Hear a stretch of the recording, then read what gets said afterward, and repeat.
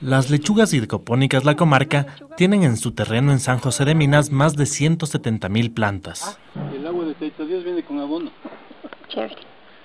La siembra se realiza en tubos con agua que circula diariamente y no utiliza pesticidas. Esto lo indica su gerente Alejandro Terneus.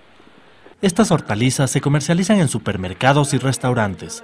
Por ejemplo, la corporación favorita les compra unas 30.000 lechugas al mes.